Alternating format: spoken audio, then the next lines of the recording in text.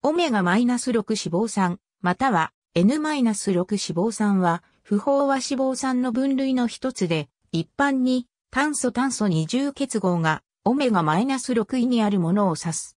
リノール酸は同じオメガ -6 系のガンマリノレン酸やアラキドン酸などへ代謝され、プロスタグランジン E2 のような生理物質の材料となる。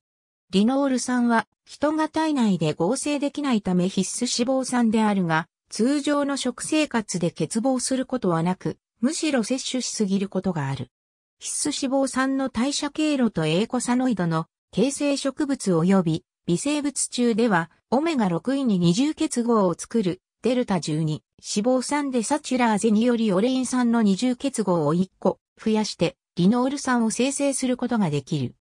さらに植物及び微生物中ではオメガ3位に二重結合を作るデルタ15脂肪酸でサチュラーゼによりリノール酸の二重結合を1個増やしてアルファリノレン酸を生成することができる。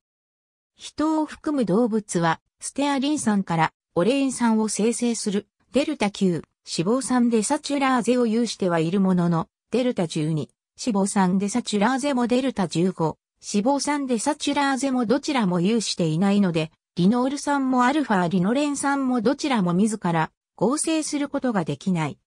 このため、リノール酸は必須脂肪酸となる。オメガ -6 脂肪酸の生物学的役割の大部分は体内の組織で見られる様々な受容体へ結合する N-6 エコサノイドへの変換の仲介である。オメガ -6 脂肪酸からの多数の生理、活性物質の生成反応はアラキドン酸から滝のように流れ落ちるごとく生成されることからアラキドン酸カスケードと呼ばれる。代表的なオメガ -6 脂肪酸であるリノール酸から出発して体内でリノレオイル COA、デサチュラーゼによりガンマリノレン酸が生成され、さらにアラキドン酸へ変換される。さらに、このアラキドン酸から変換されて生成される炎症、アレルギー反応と関連した強い生理、活性物質であるオメガ -6 プロスタグランジン、N-6 ロイコトリエン等のオータコイド類はアテローム性動脈硬化症、喘息、関節炎、血管の病気、血栓症、免疫炎症の過程、主要増殖における過度のオメガ -6 作用を抑制する超合薬開発の標的となっている。N-3 と N-6 エコサノイド線具体の生成について代謝酵素が共通しているために N-6 脂肪酸と N-3 脂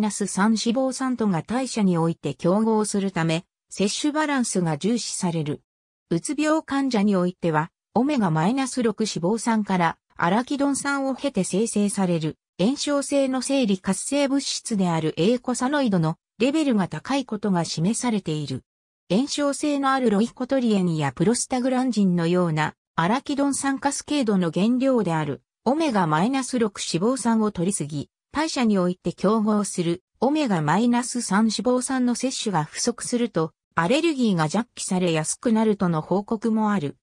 詳細は必須脂肪酸を参照国際的に脂質を評価しているエスファルは2004年には必須脂肪酸としての1日あたりのリノール酸の適正な摂取量は全カロリーの2%としている。日本人の食事摂取基準では健康な人でのオメガマイナス -6 脂肪酸の欠乏症の報告はなく、推定平均必要量を定めるためのデータはなく、目安量が設定され1日 10g 前後、摂取上限を設定するためのデータもないが過剰摂取した場合にはリスクが考えられる。日本人が摂取しているオメガ -6 脂肪酸のほとんどはリノール酸である。食用油の必須脂肪酸オメガ -6 脂肪酸は、紅花油、グレープシードオイル、ひまわり油、コーン油、オーゴ、ごま油などの食品に多く含まれている。概して、オメガ -6 脂肪酸は、多くの食品に豊富に含まれ、一部のバランスの悪い植物油や現代的な畜産動物にオメガ -3 脂肪酸が少ないということが問題になる。必須脂肪酸バランスに対する食事要因参照。植物油の脂肪酸組成は植物油の一覧植物油の脂肪酸組成を参照。ありがとうございます。